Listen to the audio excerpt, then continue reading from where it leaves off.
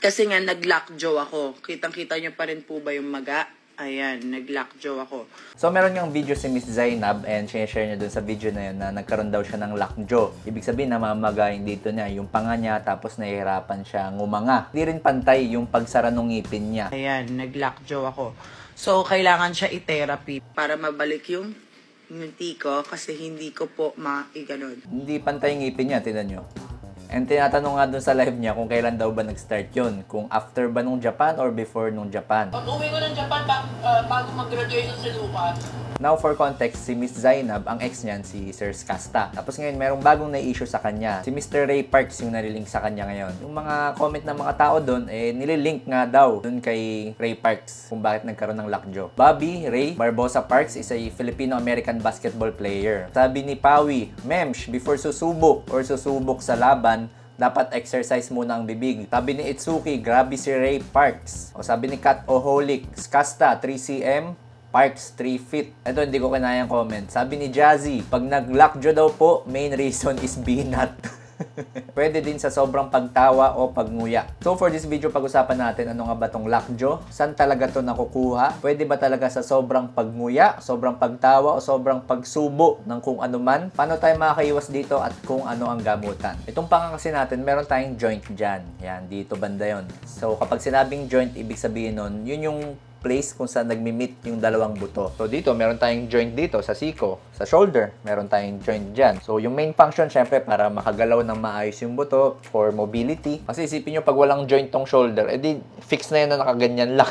Hindi mo na maangat yan pa forward or pa atras ng ganon. So usually, ganito yung itsura niyan. Ito yung isang buto, merong lalagyan, tapos ito yung pangalawang buto. So, dyan siya nakalagay, dyan siya gumagalaw. Ngayon, itong sa panga natin, amazing yan, nakakabilib yan. Kasi yung joint dito, humihiwalay. Umaalis siya ng paganon. Itong sa shoulder, hindi yan umaalis eh. Nandyan lang yan. Hindi humihiwalay yung buto mo ng paganon. Pero dito sa panga, humihiwalay siya ng paganon. Nagpo-forward siya tuwing nganganga tayo. Ngayon, baka magtaka kayo, Dok, okay lang ba na humihiwalay siya ng ganun pa forward? Baka masobra naman pag forward yung pangako, hindi na siya makabalik. Hindi nangyayari yon kasi may mga nakagwardya dyan, may mga nakapalibot dyan na fascia or mga muscles. So, nakasuporta yon hindi niya hahayaan na humiwalay masyado. So, every time magbubukas tayo ng bibig, okay, magpo-forward siya. Pero since meron niya mga muscle, mga fascia dun sa paligid, kapag sinara natin yung bibig, babalik siya dun sa normal place. Ngayon, kapag nagkaroon ng changes dito sa joint mo, dun sa joint space, sa buto, dito sa mga muscles na nakapaligid dito,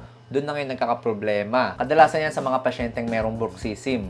So kapag sinabing bruxism, ito yung unconsciously hindi nila napapansin during their sleep or kahit gising sila, naka nakaganon lang, nakakontract lang yung muscles nila sa pagmuya. So, kapag nakakontract yun, yung ngipin nila sobrang diin. Since sobrang diin nung pagkakasara nun, yung mga muscles dito nagkakaroon ng stress, nagkakaroon ng increased tension. So, ano nangyayari? Naapektuhan yung joint mo dito. Kadalasan din sa mga pasyenteng may bruxism, dahil sobrang grind nila ng ngipin nila, nagkakaroon sila ng headache pagising nila. Kasi pagod na pagod yung muscles nila eh. Hindi nila alam buong gabi, nakaganon lang sila, nag-grind lang sila ng ngipin nila. So, pagising, masakit yung dito, masakit yung dito sa may likod, So, so hindi yan dahil sa natulog ka ng basa ang buhok.